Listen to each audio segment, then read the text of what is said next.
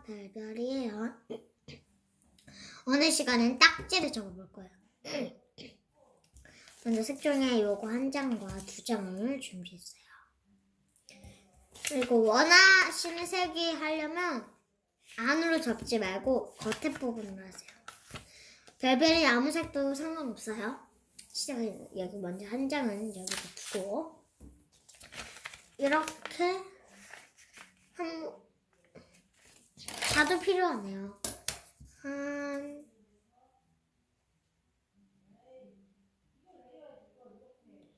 지금 요 색종이 지고 있거든요.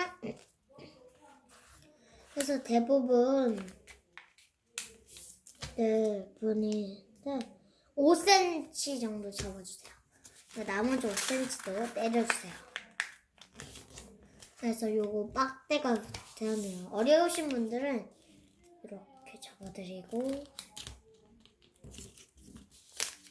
이렇게 접었어요.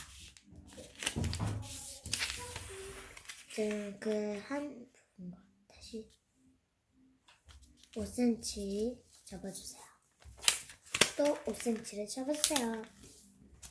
그래서 여기 요 막대기하고 막대기를 10으로 십자 모양으로 접으세요. 주세요. 위에 하나 위에 하나는 아래에 그리고 하나 아까 전에 접었던 것처럼 이렇게 하고 올리세요. 또 반대쪽은 이렇게 하고 이렇게 하고 또 올려주고 선에 잘 맞춰서 해주세요. 주의.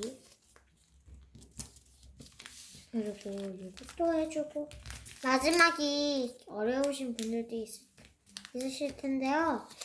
별별이는 오늘 아니 별이는 오늘 이렇게 보이시죠? 여기 부분 여기 부분을 이렇게 했어요. 안으로 쑥쑥 집어넣어주세요. 지금 모양은 안 예뻐졌지만 별별이 급해가지고 여러분 가, 여러분 알려드리니까 뭐 대충 하셨는데요. 그럼 다음 시간에 안녕.